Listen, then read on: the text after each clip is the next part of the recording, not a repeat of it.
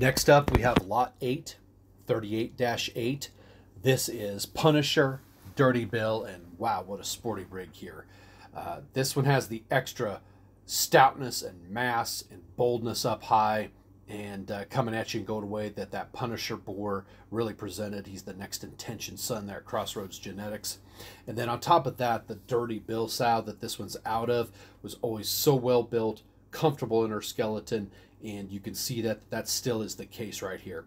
This one can run as a market gilt in a market hog show, uh, I think anywhere in the country.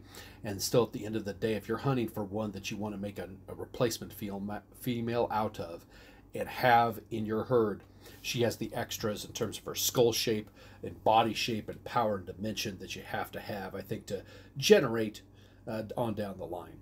So really awesome rig here at 38-8. This is Punisher Dirty Bill, lot number.